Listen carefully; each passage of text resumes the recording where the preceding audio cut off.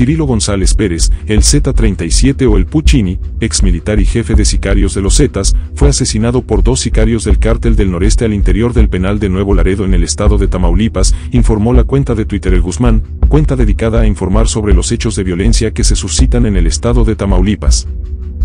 El Z-37 fue asesinado de 60 puñaladas por los reos del cártel del noreste Ernesto García y Valentín Morales.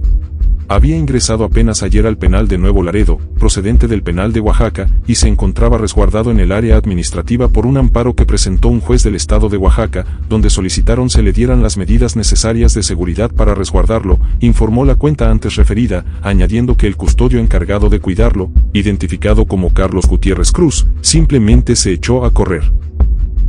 El comandante Puccini, como también se hacía llamar, fue elemento de los grupos de élite del ejército mexicano, pero en 1994 abandonó las filas del ejército, para colaborar directamente con los líderes de los Zetas, el extinto Heriberto Lascano Lascano alias el Z-40, y Miguel Ángel Treviño Morales el Z-42, quienes lo designaron jefe de varias células que operaban en Guanajuato, San Luis Potosí, Tamaulipas y Veracruz.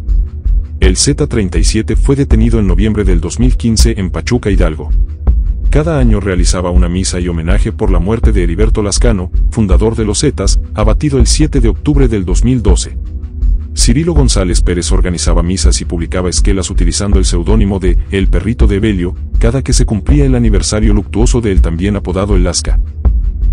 En abril del 2016, en distintos puntos de los límites de Puebla y Veracruz, fueron localizados nueve personas asesinadas, entre ellas dos hermanas del Z-37 fueron identificadas como Berta y Amada González Pérez.